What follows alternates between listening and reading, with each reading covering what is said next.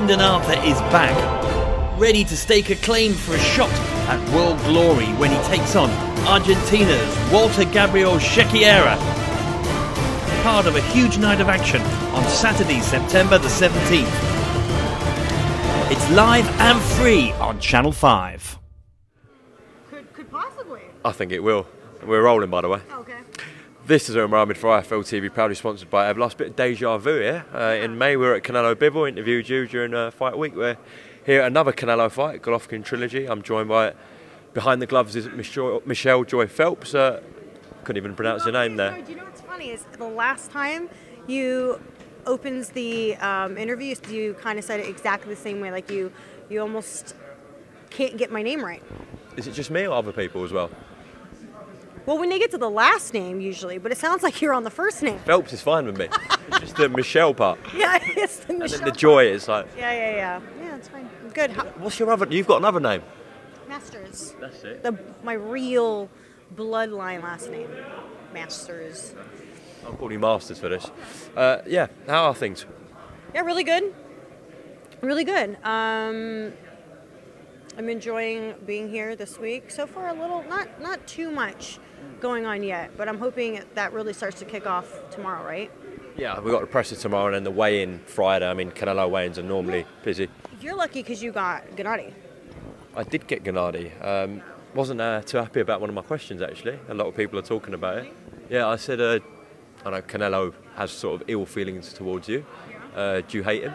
And he was like, "What sort of question's that?" But a- fair question. Like, well, where's all this coming from? There's so much animosity, but I know, I know. Interesting. Um, but yeah, in terms of yourself, obviously, uh, I see you've been uh, plugging away still with behind the gloves, but obviously you've had your new venture, which you go on. Okay, hold on. So after our interview, why did everyone start assuming I was retiring? I never once said that, right? I never said it. I said I was taking a break. Yeah. It's like the Ross Rachel situation. Did he cheat? Did he not cheat? Was it a break? I don't know. Yeah, I saw a lot of comments saying, "Oh, look, Michelle's leaving boxing and whatnot." No, I'm just, I just needed a little reset, and I did. I did. In between that reset, prior to us doing the interview, um, I hadn't had the ACL job, which is the American Cornhole League job. Do you remember I got I got an offer from them? I did basically I did a charity event, and or should I say how do I say this? I did a competition. It was me with a pro, so amateur and a pro, and uh, if you won, then you obviously went on to participate further along. I didn't. I beat Chuck Liddell. That's probably my only, my only like uh, claim to fame on that one was that I beat Chuck Liddell.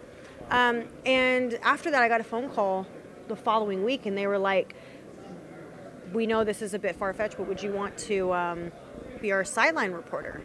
And I was like, uh, and at that point, I was already kind of stepping a little bit back from boxing, just you know, taking a break, making it more part time than full time, and it happened so randomly, and I've been having a, a good time. It's on E ESPN and CBS here in America, so it's been fun, different. Different, but um, yeah, more in the professional corporate world. Yeah.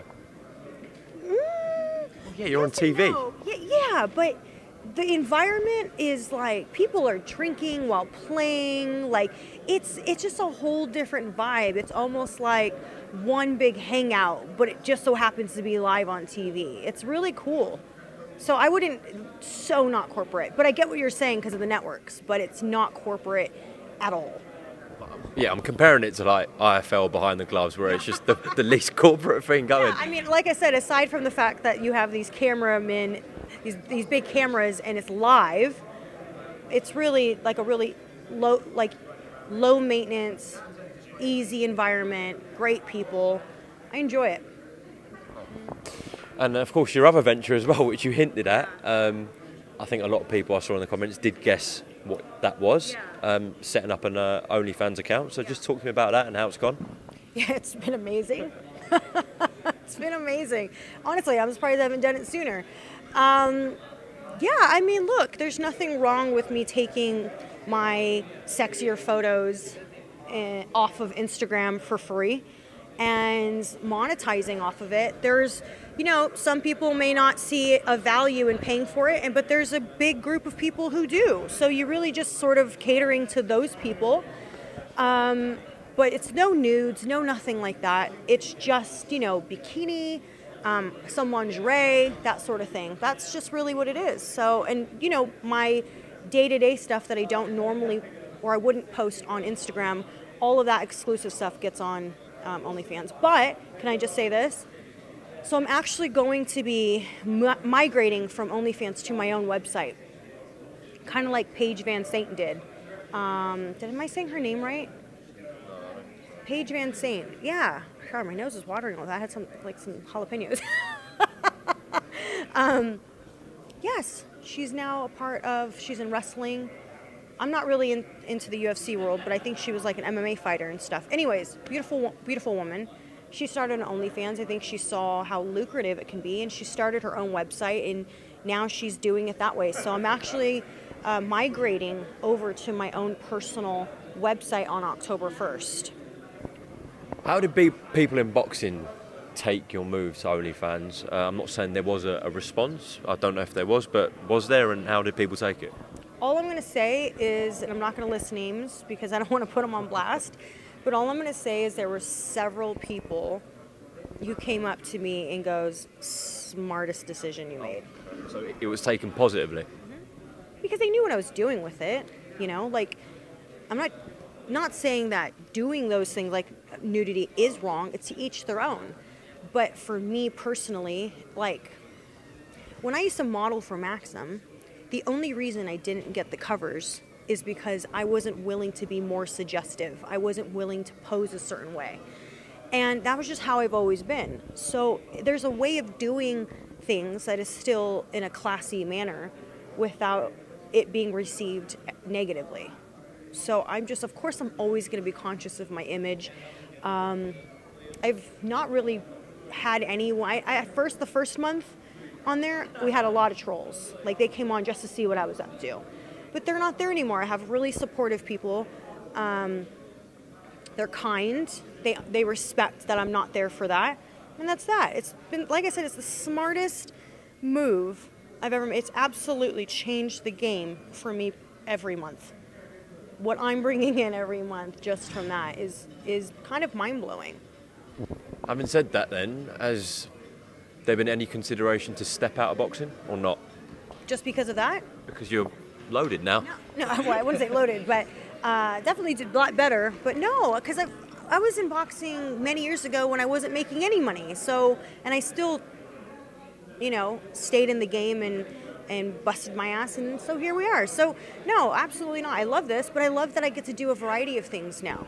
So it's like kind of switching it up.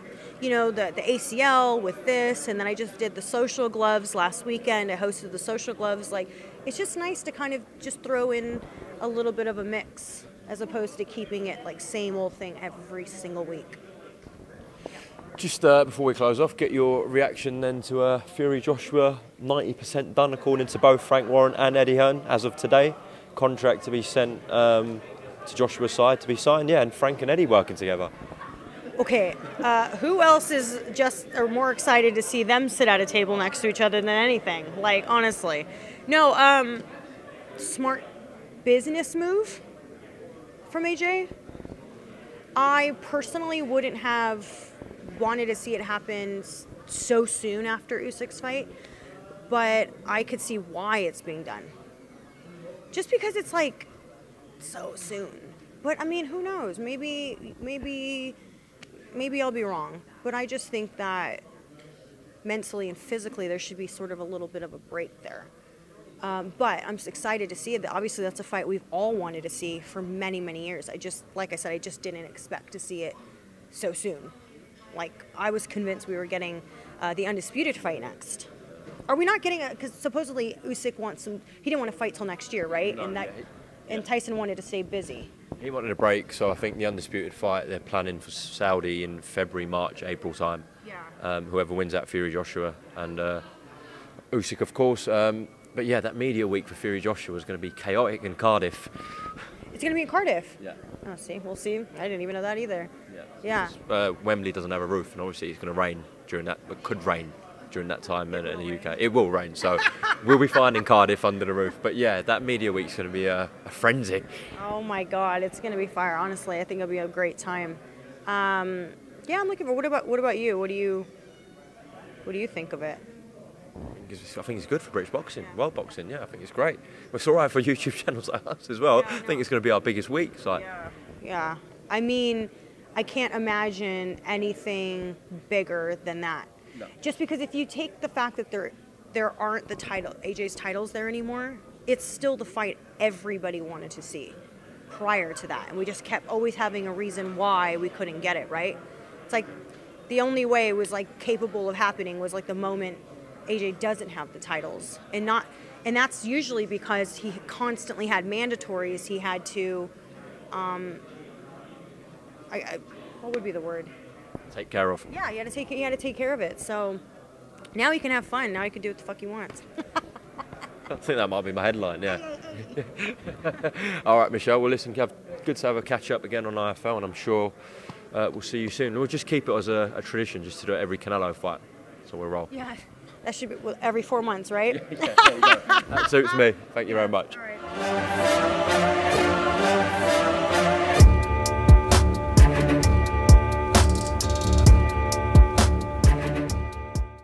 Yeah, I put my dad in the street against a heavyweight.